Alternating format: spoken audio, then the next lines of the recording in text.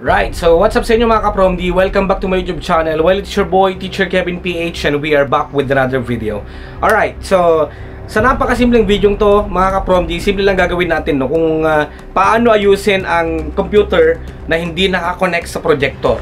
Alright, na for example walang nilalabas, no display in a projector kapag uh, i-project ninyo yung inyong laptop or PC gamit ang isang uh, projector pero walang lumalabas Well, uh, meron tayong iba't ibang mga solusyon mga ka-prom kung paano isa-solve yung uh, problema ninyo. So, tune in. Um, huwag niyong kakalimutan mag-like, share, comment, at subscribe mga ka-prom So, let's do this! Alright, so unang gagawin natin mga ka-prom first step syempre, we need to check the cables.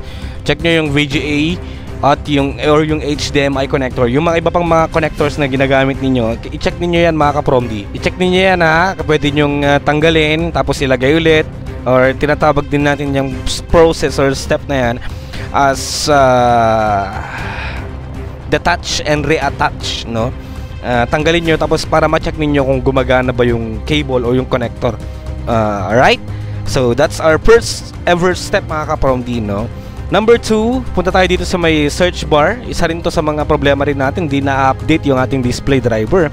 Tapos search natin dito ang um, um, device manager. Yan.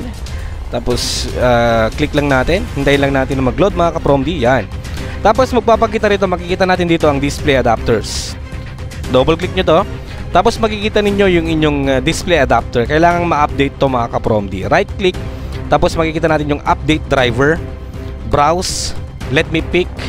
Tapos, yan. Click nyo lang to. Tapos, hindutin nyo yung next para uh, mag-install uh, o para ma-update yung inyong display driver. This is very important as well mga ka-PROMD. Alright, so this is our second step and uh, lastly, our last uh, step mga ka-PROMD, no? lastly tapos our last step redundant. Susunod naman para sa mga karaniwan sa mga gumagamit ng laptop at the same time with the PC, no? Minsan naka-project to PC screen lang, lang tayo. Naka-project lang tayo to PC screen. Ibig sabihin, hindi lumalabas, hindi talaga lalabas yan uh, papunta sa projector unless iset natin. Paano nga ba yung iset mga kaprom? Di napakadali lang din, no? Pin- makikita niyo sa inyong mga keyboard yung Windows key. Katabi yan ng control at uh, nasa gitna yan ng control at alt. No, karaniwan sa ating mga keyboard. Pindutin niyo yan. At the same time, pindutin niyo rin ang P. Windows, tapos P, tapos magpapakita to mga ka-PROMD.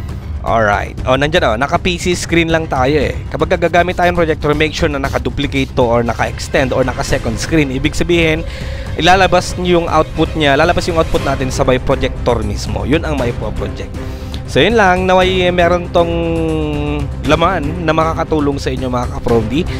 This is only if how to fix no projector without display. Maraming salamat at hanggang sa muli po mga ka-PROMD.